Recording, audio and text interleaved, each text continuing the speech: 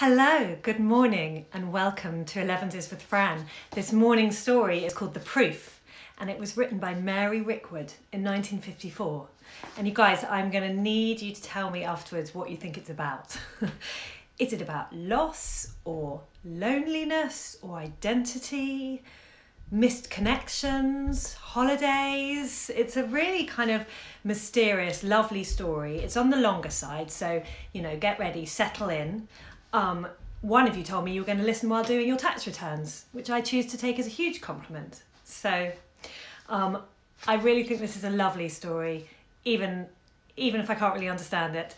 Um, so let me know afterwards what you think. Settle in. You got your cup of tea? You got your piece of cake? Thank you all so much for joining. The story by Mary Rickwood um, won a national short story competition in 1954.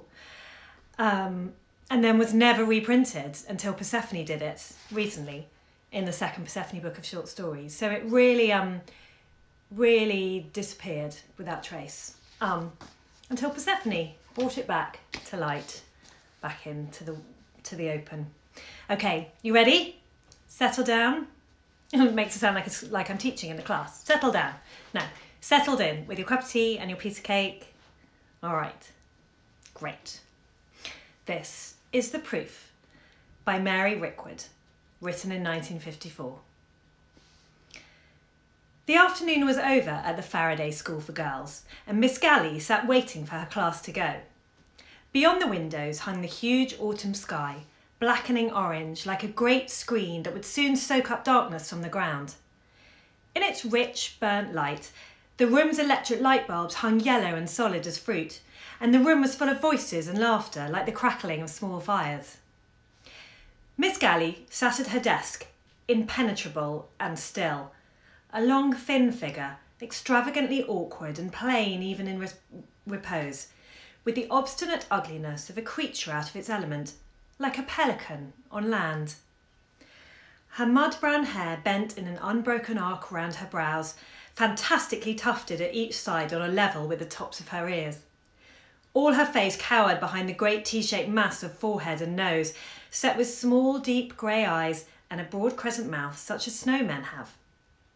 It was a face of bold lines, so intolerant of each other as to produce at first sight the kind of incredulity which is defeated, even as it rises, by amazed acceptance. The small eyes and the timid mouth remained suspended there to be recognised day after day, though it could only seem that features so arbitrarily selected might at any time might at any time at random reassemble into a different pattern. But while they remained, they imposed upon Miss Galley the greatest difficulty in making any communication by means of them. Her smile was famous, and though she smiled often, it seemed always the outcome of an intense struggle. One could fancy a remote, muted groaning of long disused machinery, which strained the elements of her face for a quick moment into a new face and fell back as the two trembling points of a scrimp spring will leap apart when released. Miss Galley had never studied her face, and had never herself felt the, felt the astonished interest in it which kept her classes silent and absorbed, even when their minds were wholly unreceptive of the mathematics which she was teaching. It was accepted by the girls of the Faraday School that there was, as they put it, something about old Galley. Nothing that could be learnt in terms of mathematics or of her attendance at school parties, something even to be accepted as undiscoverable, and celebrated now for years in the ironic name given her by an editress of the school magazine, The Proof. One by one now, the desk lids closed, and the girls came up out of the heat of painted radiators and the acrid smoke of chalk and ink and paper to say good night to Miss Galley. Good night, Miss Galley. Have a nice half term, Miss Galley one after the other, extinguished in the dark corridor outside. As the flushed and gilded faces vanished, Miss Galley felt, as she always did on such occasions, grateful and confused, even ashamed, and wondered if she should perhaps ask just one of them some unexpected question to repay an interest or curious curiosity the light, glancing kindness of their voices. But even as she thought of it, it seemed to her so impossible an intrusion that, for the moment, she felt despairingly that even the simplest words upon which, if upon any she could rely, had slipped her memory, leaving her speechless. The spring of her smile wound tighter and tighter in compensation until the last girl had gone. And when Miss Galley switched off the lights in her room, the sky was dark beyond the windows. She went quickly out into the corridor, a flat, narrow figure, long armed, walking with a clumsy sway, as though she were uncertain of her steps down the flagged passage. In fact, she loved the stone corridor, descending at intervals in three worn steps, and she moved in it as in the peaceful fields of numbers at home. She wrapped it about her and walked slowly, savouring it. In the staff room, she had learned that she was known as the proof, and she had often felt a certain gratitude for the settled identity it seemed to bestow upon her. That of a long, flowing shape, substantially correct, yet full of surprising errors. But on this November afternoon, walking more slowly than usual, less willing than ever to leave the corridor, she was troubled. In less than three hours, she would be on a train, not merely for half term like everyone else, but for extra days of holiday, forcibly given to her by the headmistress. Swaying down the corridor, Miss Galley tried to, tried to recall the interview. Miss Cloddin, widowed early and with their son now at Cambridge, was proud of her achievement and her headship of the Faraday School for Girls. She forthrightly expected, and for the most part received, a simple recognition from her staff of the importance of her judgments upon them. Miss Cloddin liked dependence, or resistance which she could correct, and she was irritated by Miss Galley, upon whom she could never feel that any guiding incision had been made. Miss Galley could teach mathematics, but her inability to make use of any suggestion put to her seemed to Miss Cloddin an impenetrable obstinacy. She is a weak spot, socially a weak spot, Miss Cloddin would say to her deputy head and stir her coffee broodingly, stretching out her broad legs to the fire. She had been more exasperated than usual at the interview with Miss Galley, but she had spoken calmly and, she felt, generously, in urging Miss Galley to take a few extra days' holiday. Forget us completely for a whole week, she had said vibrantly. Try to see something else. You will come back to us feeling so much broader and fuller, and you will be so much more useful to us. Broad and full Miss Cloddin felt herself to be as she showed Miss Galley out. So Miss Galley, charged with this heavy duty, went slowly down the corridor and collected her heavy overcoat. She swayed sadly out into the rich damp evening, sludging her feet over the leafy drive, and went home to her sister, Claire. Everything is packed, and I booked your room with Tower House. They're expecting you tonight, Claire said. You've just time to eat, and then I'll run you to the station in the car. Oh, Dora, do look alive. A gentle despair, damp and mild as the evening, settled over Miss Galley. Fragments of her smile appeared and vanished, and her sentences hardly struggled beyond, but Claire, until with a final effort, as she got into the car, she made what might have been her last communication on this earth. Claire, I don't think I know how to look alive. And I'm not overworked, you know. Why don't you go instead? Claire, placidly driving, did not trouble to answer until she swung the car gratingly into the station yard. She came round to face her sister, standing by the side of the car, and smiled brilliantly into Dora's face. The clear smile finite as a framed picture, which Dora remembered Claire always to have had. And Claire said, I should be angry if I were not certain that you were going on that train in four minutes. You're a bore, Dora. Go and enjoy yourself. You do like the sea.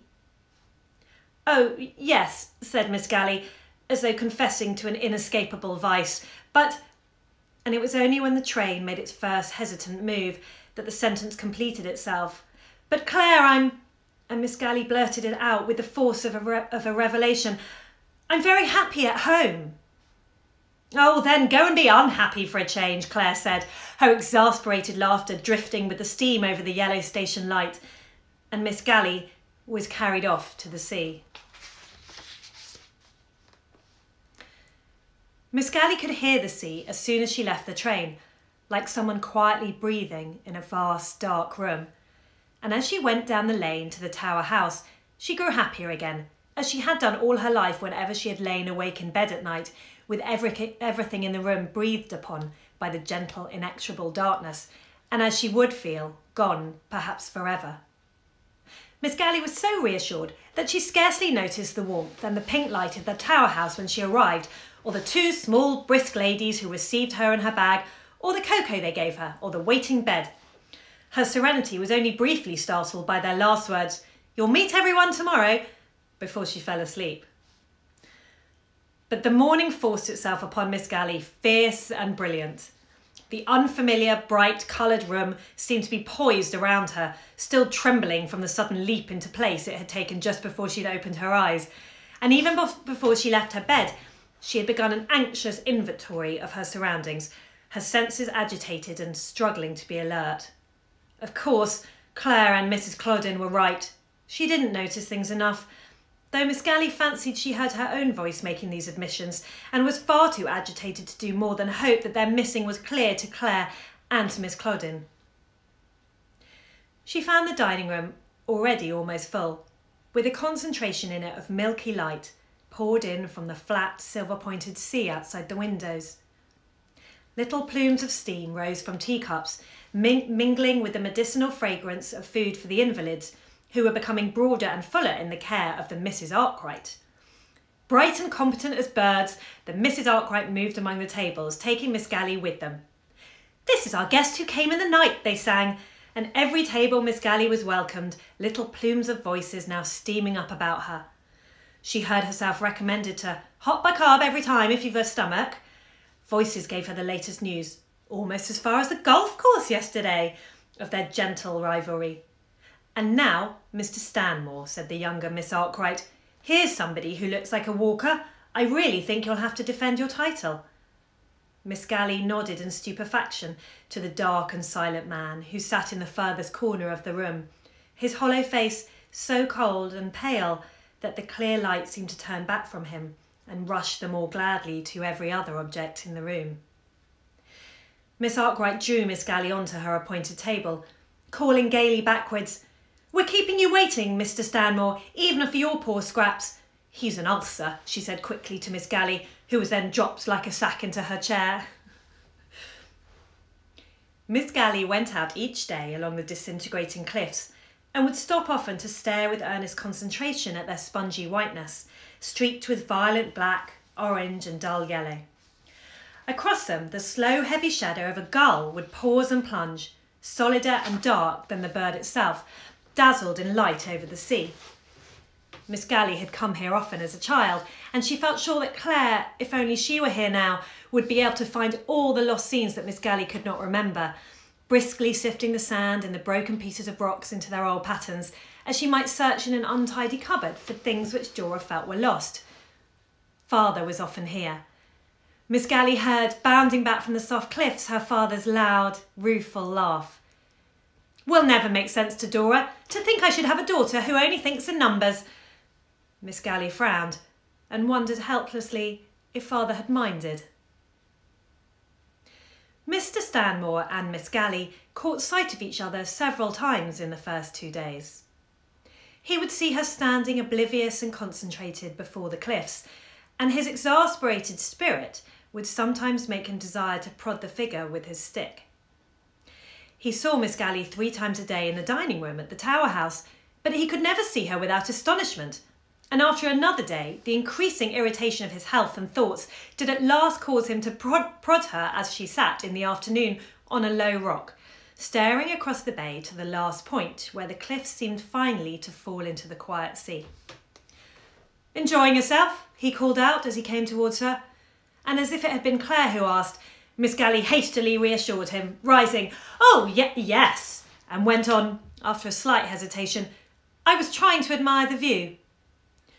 Do you find it difficult? asked Mr. Stanmore. Miss Galley found this so much a question she had asked herself in the last few days that she could even smile before she replied. Yes, I do. I don't easily notice things.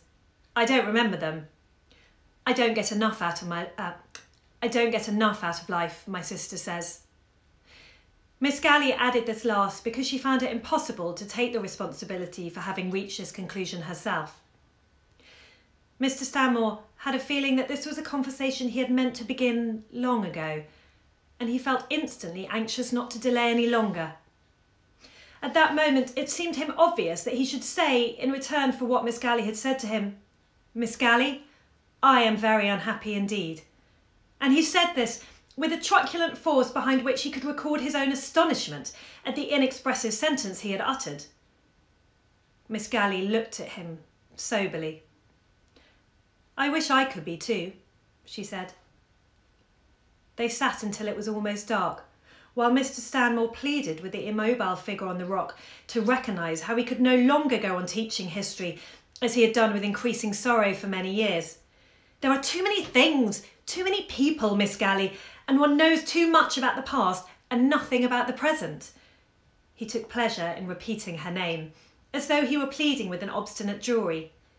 He wheeled round exactly face to face with her and shouted, Miss Galley, I'm supposed to go back soon and it simply can't be done. And Miss Galley, helpless and ashamed, feared that he would add, What are you going to do about it? Mr. Stanmore became silent as they walked back to the Tower House until they were almost there, when he burst out with an agony of rage and irritation. Have you thought, Miss Galley, what you are doing on this earth at this time? Have you, have you ever thought what your piece to the pattern is going to look like afterwards? No, never, said Miss Galley sorrowfully, and feeling that she had disappointed him, but wishing to do what she could, she added with great effort, But I should think it would fit in somehow. I hope so. The prospect of an eternity of oddness dismayed her. Mr. Stanmore only nodded, looked quickly at her, and when they reached the house went up to his room without a word. Miss Galley was never again so articulate as on that first afternoon except perhaps on the windy evening two days later, when she stopped during their walk and turned at bay, facing Mr. Stanmore's, Stanmore's words, which beat upon her like the clouded sea against the cliffs. I can't manage words, you know, only numbers. Mr. Stanmore's uproarious, sour laugh flew off into the wind, and she felt that he had agreed to let her remain silent forever. On the last afternoon before her return to school, she sat with Mr. Stanmore at the window in his corner of the dining room, with spread fans of rain dashing against the panes and falling down the glass, when the gusts ebbed like showers of slow stars from a firework. Miss Galley, said Mr. Stanmore, I had decided to give up facts, but you are one more for which I am most grateful. There is always one more, said Miss Galley simply, as she had often said in mathematics lesson. I shall be able to go back all right, Miss Galley. You are a fable for our time, like the moth who cared nothing for candle flames and spent a long life looking at a star. Miss Galley felt the recess recessions of language to be, to be more than ever beyond her reach, and Mr. Stanmore himself could not but sense a certain inappropriateness of comparison. He felt, however, compensated in being able, in being able to end who flies afar from the sphere of our sorrow is here today and here tomorrow. He retained his last sight of Miss Galley in every detail, fixed in the clear light of that incredulity which had come upon him whenever he saw that gaunt head, this time attached to shoulders, and a long arm over the lowered window of a railway carriage, a hand in a yellow string glove with overlong fingers, like a clown's hand, waving a jerky and amiable farewell. You guys, what does it all mean? And yet I love it, even though I don't really know what it all means. What do you think? Loss? Loneliness? I think loneliness. We're all alone with no excuses. It's sort of something about that, right? Um, let me know in the comments what you think. I'd be really interested to hear. Um, so Mary Rickwood, the writer of that, she wrote that short story and then she wrote one novel and that was it. Disappeared from literary life without trace, which is sad. In fact, um, uh, when I uh, posted about this on Instagram, there was no tag anywhere that said Mary Rickwood. So there you go, Mary Rickwood, not big on Instagram turns out, who knew? She knew, she definitely knew.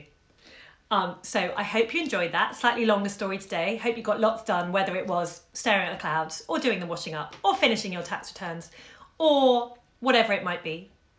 Thank you so much for joining Elevenses with Fran. It was really, really lovely to have you today on this slightly grey, rainy day where I am. Um, yeah, thanks for joining, and I will see you soon.